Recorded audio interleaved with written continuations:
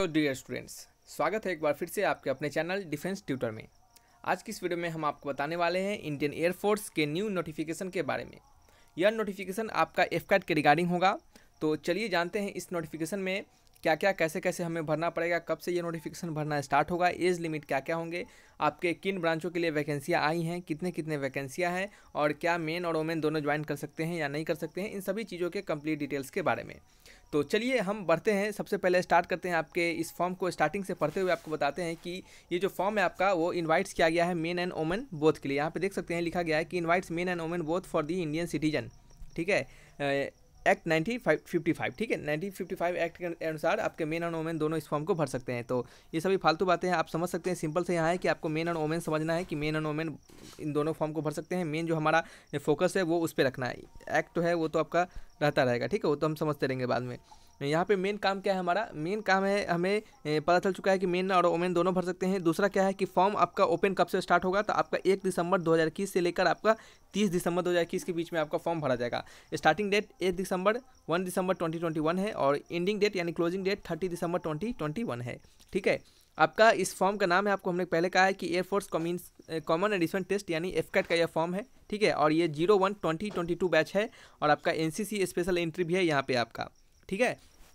तो ये आपको हमने बता दिया। फिर नेक्स्ट हम आपको बता दें कि यहाँ पे जो एप्लीकेशन है, ये आपका एप्लीकेशन शॉर्ट सर्विस कमीशन और आपका परमानेंट कमीशन दोनों के लिए निकाला गया है। यानी शॉर्ट सर्विस कमीशन यानी एसएससी ठीक है? शॉर्ट सर्विस कमीशन आपका एसएससी और परमानेंट कमीशन आपका पीसी ठीक है? दोनों के लिए निकाला गया है। यह आपका फॉर्म जो है, आपका फ्लाइंग ब्रांचेज के साथ साथ आपका नॉन टेक्निकल और टेक्निकल सभी के लिए यह फॉर्म को निकाला गया है। यहाँ पे हम जानेंगे कि ब्रांच और कोर्स नंबर एंड वैकेंसी के बारे में। जैसे कि आपका एफकेट इंट्री होगा जहाँ पे तो यहाँ पे आपका एफकेट इंट्री में फ्लाइंग ब्रांच ग्राउंड ड्यूटी यानी टेक्निकल ग्राउंड ड्यूटी आपका नॉन टेक्निकल इन सभी में आपके कोर्स नंबर आप देख सकते हैं, ये कोर्स नंबर है, ठीक है? और आपका वैकेंसी है यहाँ पे। वैकेंसी आपका सबसे पहले फ्लाइंग ब्रांच में एसएससी का, यानी शॉर्ट सर्विस कमीशन का सतहत्तर है। और आपका ग्राउंड ड्यूटी में आपका ये उन्नीस है और सेवेंटी सिक्स है ए ई का उन्नीस है और आपका एसएससी में सेवेंटी सिक्स है ए एम का आपका पीसी का यानी परमानेंट कमीशन में सेवन है और एसएससी का ट्वेंटी सेवन है, ठीक है? ग्राउंड ड्यूटी में भी आप देख सकते हैं, ये सभी आप इसको पढ़ लीजिएगा, ठीक है? एक ही चीज़ को बार बार बताना क्या फ़र्क पड़ता है, आप इसको हम डायरेक्ट पढ़ के सुनाएँगे उससे अच्छा आप एप्लीकेशन को पढ़ लीजिएगा, ठीक है? हम आपको शॉर्ट में बताते जा रहे हैं इन्फॉर्मेशन ताकि एप्लीकेशन फॉर्म को एप्लीकेशन को पढ़ते दौरान आपको ज़्यादा परेशानी ना हो। यहाँ पे नेक्स्ट आपका है एनसीसी स्पेशल एंट्री ठीक है? इसमें एनसीसी स्पेशल एंट्री में सिर्फ़ आपका फ्लाइंग ब्रांच के लिए है, यहाँ पे टेक्निकल और नॉन टेक्निकल दोनों के लिए नहीं है, ठीक है? तो आप उसके वैकेंसी और सीट्स के बारे में पढ़ लीजिएगा। नेक्स्ट हम जानेंगे यहाँ पे डिस्क्लेमर है। डिस्क्लेमर में वही दिया जा रहा है कि वैकेंसी को अपने अनुसार चेंज कर सकते हैं या फिर बदल सकते हैं, कुछ भी, ये सब बातें हैं यहाँ पे, ठीक है?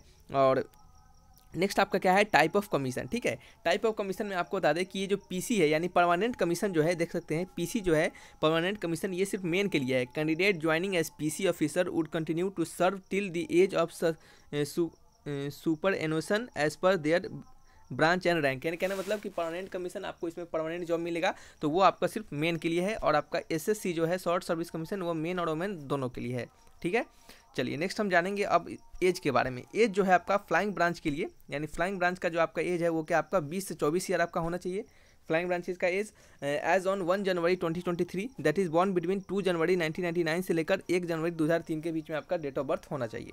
ठीक है? दो जनवरी 1999 से आपका एक जनवरी 2003 के बीच में आपका डेट ऑफ़ बर्थ होगा, तब आप फ्लाइंग ब्रांच के लिए भरने के लिए एलिजिबल हो पाएँगे। नेक्स्ट आपका क्या है?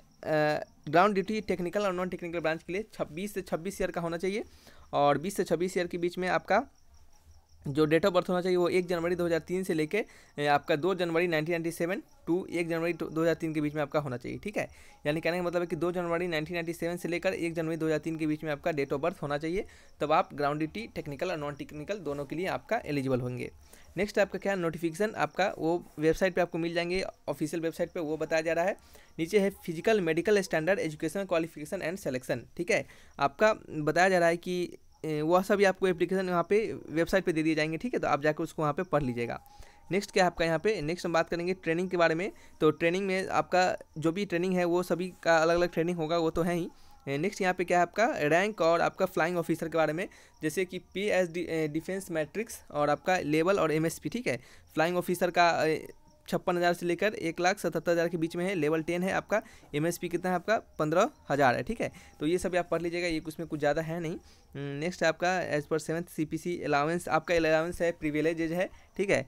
और नेक्स्ट आपका इंश्योरेंस बताया जा रहा है, एक करोड़ का इंश्योरेंस आपको किया जाएगा, और स्पोर्ट्स एंड एडवेंचर फिर आपका क्या इंपॉर्टेंट इंस्ट्रक्शन में टैटो वेटो के बारे में बताया जा रहा है, उसको पढ़िएगा नार्कोटिक्स के बारे में बताया जा रहा है, ये सभी ये सभी आपको खुद से पढ़ने वाली चीज़ें हैं, आप खुद से पढ़िएगा, ये शॉर्ट नोटिफिकेशन है तो इसमें हम आपको इतना सारा बताएँगे तो बहुत ही लंबा हो जाएगा वीडियोज़ ठीक है? अगर किसी पर डाउट होगा तो आप बताइएगा, हम आपको लिए उस चीज़ पर सेपरेट वीडियोज़ बनाकर बताएँगे, ठीक है? क्वेरी डिस्क्लेमर इन सभी चीज़ को पढ़ लीजिएगा, आपको सभी चीज़ समझ में आ जाएँगे।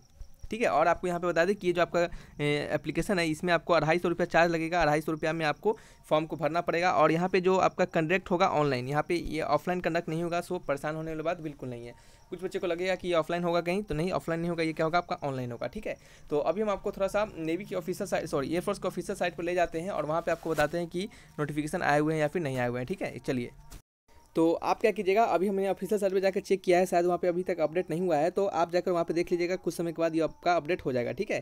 क्योंकि बहुत सारे अदर साइट्स हैं, जैसे कि सरकारी रिज़ल्ट हो गए आपके अदर फास्ट जॉब हो गए, बहुत सारे ऐसे साइट्स हैं जिन पे ये सभी अपडेट कर दिया गया है और आपके इंप्लॉयमेंट न्यूज़ न्यूज़ में आने के बाद ही आपका ऑफिशियल साइट पर अपडेट होता है तो मे भी कहीं लेट हो वहाँ पर अपडेट होने में तो जाकर आप उसे वहाँ पर चेक कर लीजिएगा, कुछ समय के बाद वहाँ पर नोटिफिकेशन आपको देखने के लिए मिल जाएँगे, ठीक है? तो चलिए रखते हैं इस वीडियो को यहीं पर आपको जो भी शॉर्ट नोटिफिकेशन था, हमने आपको बता दिया, और जैसा कि आपको पता है कि इसके एजुकेशन क्वालिफिकेशन की एलिजिबिलिटी जो होती है, वो आपका क्या होता है बैचलर डिग्री आपको चाहिए किसी भी स्ट्रीम में, ठीक है?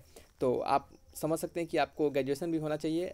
आप और भी जो जो जो आपके अलग अलग ब्रांचेज हैं, उन सभी के लिए अलग अलग क्वालिफिकेशन चाहिए होते हैं तो आप जाकर जैसी नोटिफिकेशन वहाँ पे दिख जाते हैं तो वहाँ पे जाकर सारे को अच्छे से पढ़ लीजिएगा। कोई डाउट होगा तो कमेंट बॉक्स में आप लिख सकते हैं, ठीक है? तो रख, रखते हैं इस वीडियो को, यहीं पे मिलेंगे नेक्स्ट वीडियो में। Thanks for watching my video तब तक के लिए बाय